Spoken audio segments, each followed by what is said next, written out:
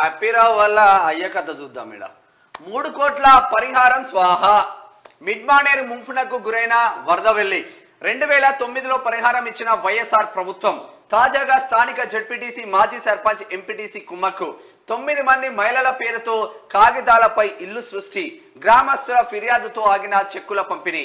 ఈ స్కామ్కు కర్త కర్మ క్రియ ఎంపీ సంతోష్ రావు తండ్రి రవీందర్ రావు. అసలు యాక్చువల్గా ఈ హ్యాపీ రావుకు సంబంధించి వాళ్ళ చెల్లె తర్వాత ఈయన తర్వాత వీళ్ళ నాయన ఓ రకరకాల వీళ్ళంతా చుట్టాలు పక్కన అందరు కలిసి ఎక్కడ మిడ్ మానేర్లో మా భూమి పోయింది భూమి పోయింది తర్వాత ఇండ్లు పోయినాయి అని చెప్పేసి పరిహారం తీసుకుంటూ ఈ పేదలు. వరదపల్లి. అలా ఈ పరిహారం తీసుకున్నారు. ఇవన్నీ కూడా ఫేక్ డాక్యుమెంట్లు పెట్టేసి పరిహారం తీసుకున్నారని చెప్పేసి ఆరోపణలు ఉన్నాయి.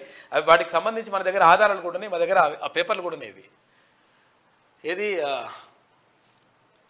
రెండు వేల ఐదులో మొదలై రెండు వేల పద్దెనిమిదిలో పూర్తయిన మిడ్ మానేర్ ప్రాజెక్టు పరిహారం ఎప్పుడూ రాగా కొత్త గ్రామాలు సైతం ఏర్పడ్డాయి. అయితే ఆ ప్రాజెక్టు పరిహారం మళ్ళీ పొందేందుకు ముంపు గ్రామం ప్రజ మాజీ సర్పంచ్ ఎంపీటీసీ స్థానిక జడ్పీటీసీ కాగితాలపై మహిళల పేరు మీద ఇళ్ళను సృష్టించి అధికారులతో బై నెంబర్లు వేయించి పరిహారానికి అప్లై చేయించారు. తాజాగా మూడు వం- మూడు కోట్ల రూపాయల చెక్కులను రావడంతో గ్రామస్తుల ఫిర్యాదు మేరకు అధికారులు ఆ చెక్కులు మంజూరు చేయలేదు.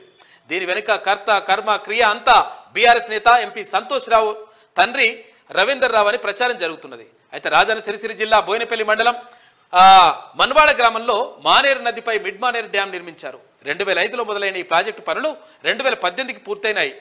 అయితే ఈ డ్యాం కింద ముంపునకు గురైన గ్రామాలకు పరిహారం చెల్లించడం అయిపోయింది. అయితే ఆ ముంపు గ్రామంలోనే వరదలు వరద వెళ్ళి ఉన్నది. రెండు వేల తొమ్మిదిలోనే వారికి పరిహారం రావడంతో కొత్త గ్రామాన్ని ప్రజలు నిర్మించుకున్నారు. అయితే బీఆర్ఎస్ పార్టీకి చెందిన కొదురుపాక జడ్పీటీసీ వరదవెల్లి గ్రామ ఎంపీటీసీ ఆయన తమ్ముడు సర్పంచ్లు కుమ్మక్కై వరదవెల్లికి సంబంధించిన తొమ్మిది మంది మహిళల పేరుతో కాగితాల మీద ఇళ్ళను సృష్టించారు. ఇల్లు లేవంట కాగితాల మీద సృష్టించారు. రెండు వేల తొమ్మిదిలో వాళ్ళ భర్తల పేరు మీద పరిహారం వచ్చిన నేపథ్యంలో ఇళ్ళకు బై నెంబర్లు వేయించి ఇళ్ళకు కూడా వేసిరట. మహిళల పేరు మీద ముంపు పరిహారానికి రెండు వేల పద్దెనిమిదిలో అప్లై చేయించారు. దీంతో అప్పుడు రాష్ట్రంలో బీఆర్ఎస్ ప్రభుత్వమే అధికారంలో ఉండడంతో అధికారులు కూడా కళ్ళు మూసుకొని ఆ ఫైళ్ళకు గ్రీన్ సిగ్నల్ ఇచ్చారు.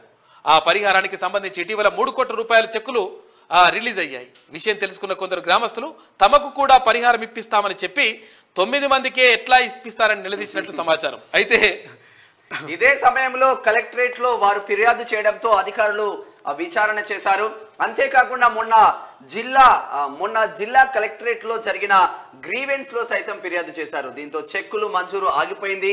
అయితే ఇదంతా బీఆర్ఎస్ ఎంపీ జోగినపల్లి సంతోష్ రావు తండ్రి రవీంద్రరావు స్కెచ్ ప్రకారమే జరిగినట్టు ప్రచారం జరుగుతున్నది.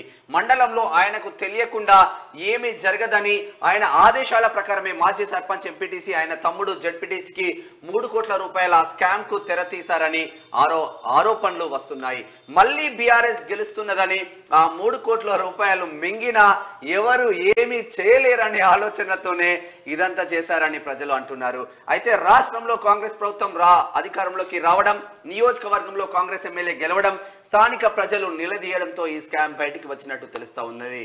ఎంపీ సంతోష్ రావు తండ్రి రవీందర్ రావు స్థానిక జడ్పీటీసీ ఎంపీటీసీ ఆయన తమ్ముడు మాజీ సర్పంచ్లపై విచారణ చేసి శిక్షించాలని వరదవెల్లి గ్రామస్తులు కోరుతున్నారు. మూడు కోట్ల రూపాయలు వీళ్ళ నాయన వేసుకుపోయినట ఏది? ఉన్న లేని ఇండ్లు ఉన్నట్టుగా మహిళల పేరుతో రాసి పైసలు మూడు కోట్ల రూపాయలు వేద్దామని ప్రయత్నం చేస్తే బీఆర్ఎస్ వస్తుంది ఎవడో మళ్ళీ బీఆర్ఎస్ ఇప్పుడు వీళ్ళు ఆఫీసర్లు కూడా వీళ్ళు ఆఫీసర్లు తీసుకొని లోపల గుంజాల వాళ్ళని ఒక్కొక్కరిని. వాస్తవం. ఈ దొంగలు ఈ దొంగల వల్ల ఇట్లా చాలా మంది ఉన్నారు కొంతమంది.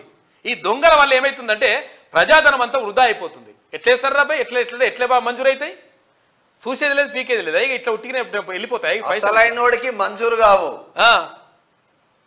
ఇది లంగం లోపల వేయాలి అసలు యాక్చువల్గా